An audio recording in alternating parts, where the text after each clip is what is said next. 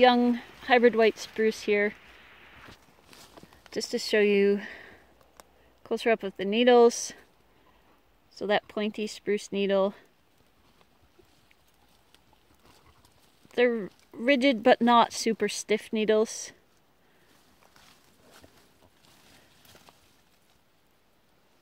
And you'll notice they're all elevated on like a tiny little stem.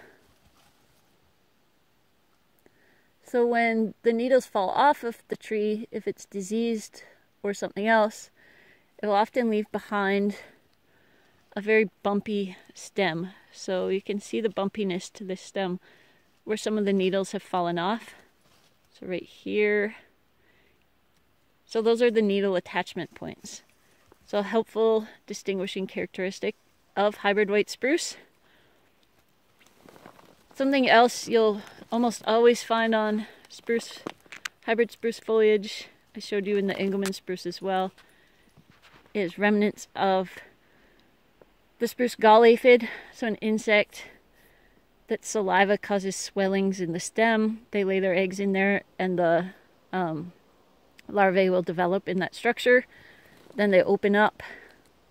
You can see usually little openings in these structures where the insects have left. I mentioned in the other video the bluish tinge to the foliage. You can see that fairly well in my hand here is a subalpine fir and to the right is the more bluish deeper green of the hybrid white spruce.